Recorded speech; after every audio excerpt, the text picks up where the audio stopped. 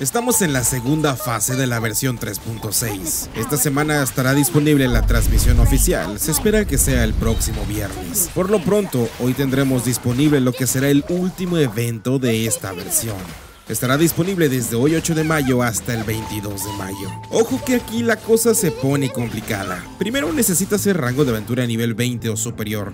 Luego este evento exige haber completado dos misiones secundarias. Aquel espléndido día. Esta es la misión secundaria de los Aranaras del desierto. Yo no la he hecho y no sé si deje jugar sin haber completado esta misión. Por otro lado pide otra misión y se hizo Varena. Esta parece que da un objeto que sirve para completar algunos acertijos. En los detalles del evento mencionan que esta se podrá saltar y jugar. No obstante, la primera misión no sé si sea obligatoria o también se pueda saltar. Este evento debería estar disponible después de las 10, 11 de la mañana en México, y como esto lo estoy grabando un día antes, no puedo confirmarlo. Sin embargo, puedes dejar en los comentarios si te deja participar en el evento sin haber completado estas misiones, ya que esto podría complicar las cosas para algunos jugadores. En cualquier caso, este evento estará disponible por alrededor de 15 días, así que hay suficiente tiempo para hacer las misiones de los aranaras del desierto. Además, tengo entendido que a diferencia de la misión normal, esta misión de los aranaras del desierto es un poco más corta. En cualquier caso, el evento consta de tres retos, los cuales podrás completar con este objeto que te dan en una misión. Un evento es de explorar con el Aranara,